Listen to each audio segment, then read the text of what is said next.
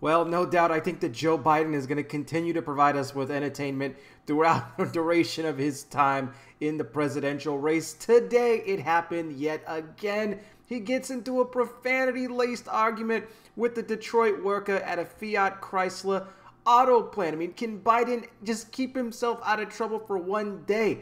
I don't think he can, guys. I just don't think he can. I mean, this guy is out of his mind here. So he's here, he's touring the plane. All of a sudden, he's confronted by a Detroit worker, okay? By the way, I'll put the link to this down below in the description. You can watch what happened between Biden and this guy. The Detroit worker says, accuses him, saying, hey, you're not going to take my guns. You know, I know that you're soft on the Second Amendment, okay?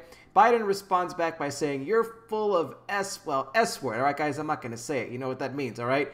Then the guy says, I've seen videos of you circulating around online stating that you're soft on, on the Second Amendment, okay? This guy, I mean, the fact that he wants to put Beto O'Rourke, who said he's going to take all your guns if Beto became president, which isn't the case because the guy dropped out. But then Biden had him up on stage with him at a rally talking about how he'll have Beto O'Rourke, you know, head up that, you know, department for him or whatever, help him take the guns away. So, but Biden is now claiming that he's a big supporter of the Second Amendment now. So the two of them keep getting into it.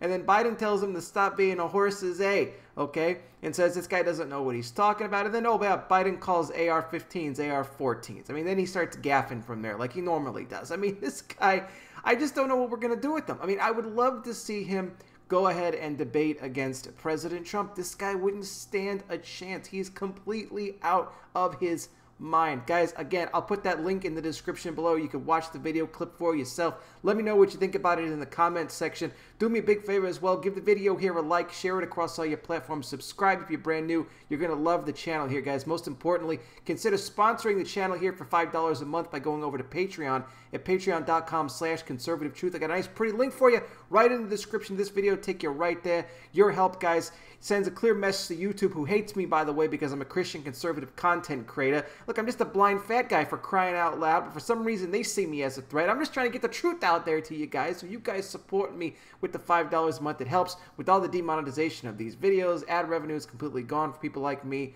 So thank you in advance for all of that. I'll be back with more. You guys take care. Please be safe out there. God bless each and every single one of you. And I'll talk with you soon.